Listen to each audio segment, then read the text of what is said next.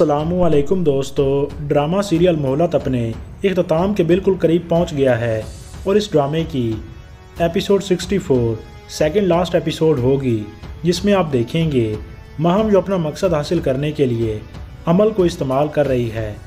वो नवेरा से कहती है, जब तक तुम मेरे और दावर के दरमियान रहोगी, दावर मेरे बारे में कैसे सोचेगा? तुम निकल जाओ हम दोनों के बीच में से। ये सुन के नवेरा दुखी हो गई महम के मोबाइल पे कॉल आई तो वो अमल को नहाते हुए छोड़ के चली गई, जिसके नतीजे में अमल पानी में डूब के बेहोश हो गई। नवेरा ने देखा तो चीखने लगी और नवेरा की चीखों पुकार सुन के सब लोग वहाँ पे आ गए। उम्मीद करते हैं अमल को ज़्यादा नुकसान ना पहुँचा हो।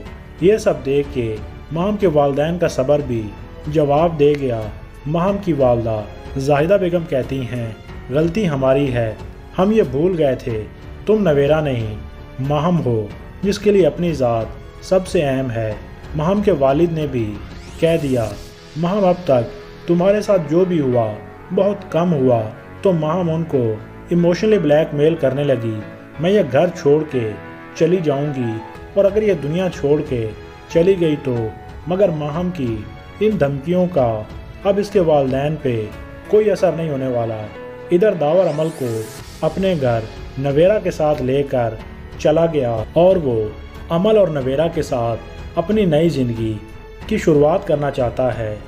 दावर अब अपनी बेटी अमल और नवेरा के साथ हँसी खुशी ज़िंदगी गुजारना चाहता है और मक्कार महम की हर साजिश नाकाम हो गई। सलमान तो माहम को कबूल करने के लिए तैयार नहीं और दावर ने उसे हमेशा के लिए छोड़ दिया है। तो दोस्तों, आपके ख्याल में मक्कार माहम का क्या अंजाम होगा? वीडियो अच्छी लगे तो लाइक कर दें, चैनल को सब्सक्राइब कर लें। शुक्रिया।